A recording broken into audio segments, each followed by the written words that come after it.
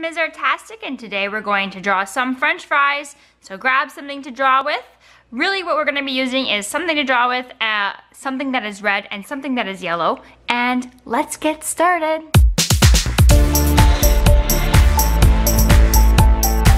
Okay, so we're gonna start off by drawing the box that the french fries are sitting in. So we're gonna draw a curve and another curve, and these are gonna be the edges of the boxes. And then we're gonna swoop down and do a long U or curving shape. So this is the top of the box. And then now we're gonna draw the sides of the box. We're gonna do two long sweeping parallel lines and if you wanna add some different artist flavor. You can bend them in, you can do it straight. It's up to you and the character that is your box. Now I'm gonna add two little corners and then kind of bring it up so that way it's kind of like little feet on my um, french fry box here. And then I'm just going to go over these lines a second time to thicken them up and darken them because I'm using a marker, but I want a bold line so that way the viewer's eye is drawn towards my work. So I'm going to go back over these lines again. Being mindful that I'm trying to clean them up and thicken them up. So whatever you're using, you can do the exact same thing. So if you're using pencil to draw with, you can go back over the line with pencil. Or if you're using just a normal felt marker, you can go back over the line with your normal felt marker. Whatever it is, do it twice and just thicken it up. Okay, so now that it looks nice and stark and bright, I'm ready to add my fries. So we're gonna do nice big fries that are kind of silly first, and then we're gonna do um, fries that are kind of in behind there. So I'm gonna do nice tall fries. They can go out at different angles. I mean, if you think about it, french fries, when they come in a box, they're not just standing all perfectly straight up and down, right? Sometimes they're hanging out. You might have one that's bent or broken. So draw your tall fries and some that are gonna be um, the top there. And then we're going to draw some that are smaller in between here and there. There is no right or wrong way to draw french fries. And then we're also going to draw some that are hidden behind other fries. We're gonna have some overlapping and this overlapping is going to create the um, sense of depth in our artwork, which is the element of art space. So overlapping is one technique that artists use to create the feeling that something is farther or in the distance, right? Because now this guy's gonna feel like he's closer to the to the viewer than this guy because he's in behind and just peeking out. So, and I'm also gonna make the guys in behind smaller than the front ones. So that way it really feels like it's in the background, which is an illusion, right? Because it's really not, it's all flat. So that's the fun thing about art. You can trick your viewer's eyes into thinking there is space or depth when there really is not because this is flat. Whoa, look at all those fries. I'm so hungry now. Mmm. Okay, next we gotta make a crazy face for our french fry. I'm gonna give him some cool looking eyebrows here.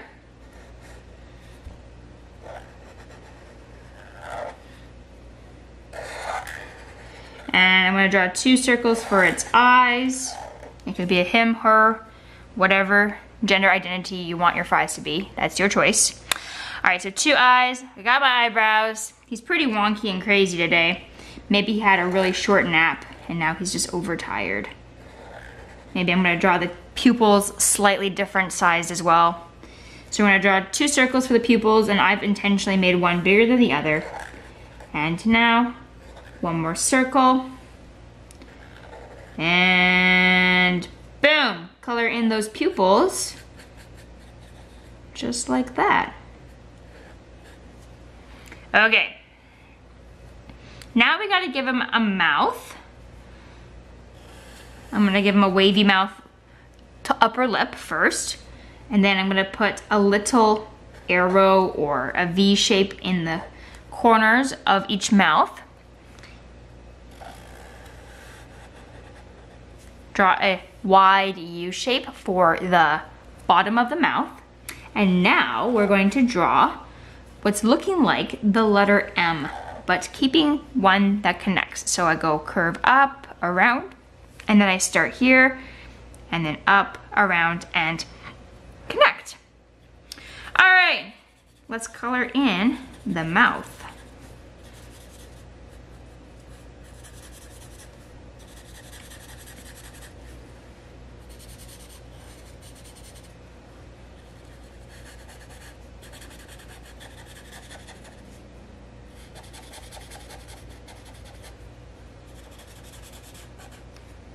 Okay, so now that we got our base drawing done, we're gonna add some lines to create a little bit of expression and texture. So we're gonna go around the edge here, and we're just gonna add a border.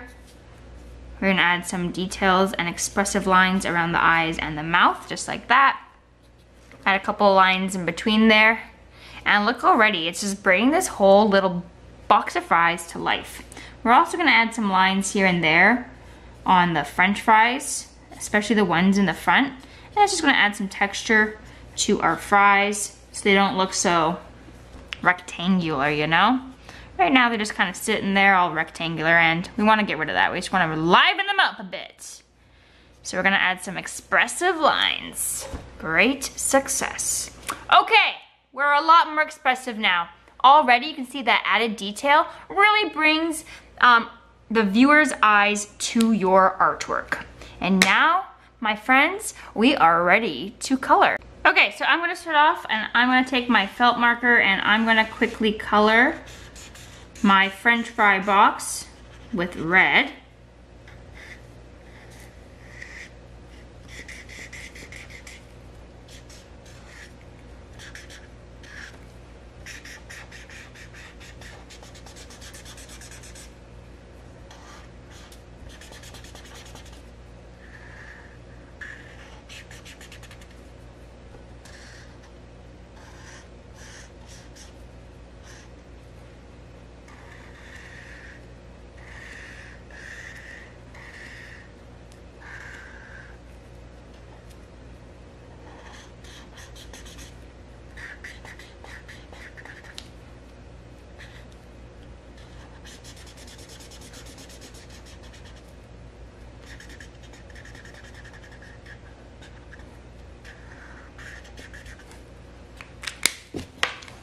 Gonna color that tongue pink only because his body is red.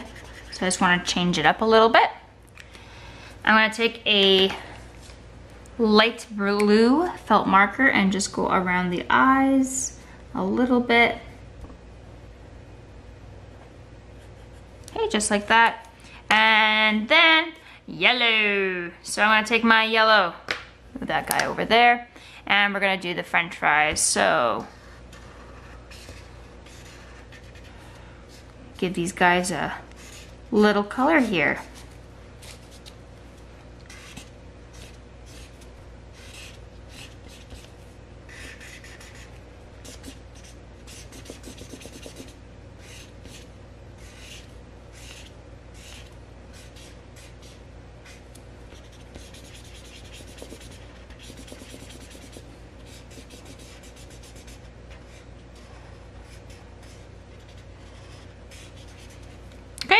Now that my french fries are looking fabulous, um, we're gonna do orange in the box, inside part of the box here, real quick. And now we are ready to add highlights and shadows with pencil crayon. Okay, so we're gonna use our white pencil crayon to add highlights. I'm gonna do that last and then we're gonna use black for shadows. So first I'll take my black, and I'm just barely, barely touching the paper. And I'm gonna go and add some shadows to my artwork. So first I'm gonna go around the eyes. This is gonna create some depth and add value to my work. And it's to bring a lot of visual interest to the eyes through adding some contrast. I'm also going to go around the mouth.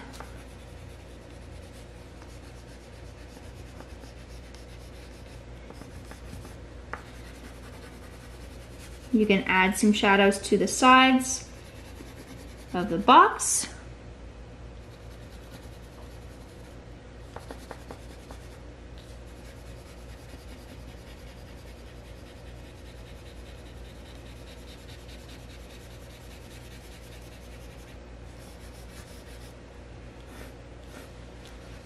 Definitely going to shade shade over that orange so it'll be a darker orange because it's the inside of the box can add a little bit of shading to the tongue and then you can add some shadows to any of the fries that are kind of like overlapping. So just along the overlapping parts, I'm just gonna give a quick shadow. I'm not being super careful. I'm just adding shadows where things overlap, so along their edges really is what I'm doing. And that's just gonna help create a sense of depth. I don't want really dark looking fries, that's not very appetizing. Unless of course you want a very dark looking picture. Then indeed, shade away. But I still wanna eat these fries. So I'm not gonna go crazy town. I am gonna put quite a bit of dark at the bottom here because it is where the fries go into the box. I want them to pop. Okay, now that I'm done with the shadows, I'm gonna add some highlights real quick. So I'm gonna add some highlights along the top of the mouth, on the top of the tongue here, inside my eyeballs,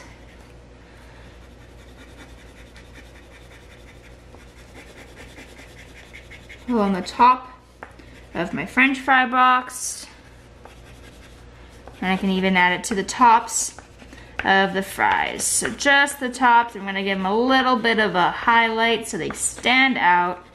And my friends, we are done our French fry box. Artastic Nation, that's the end of this episode.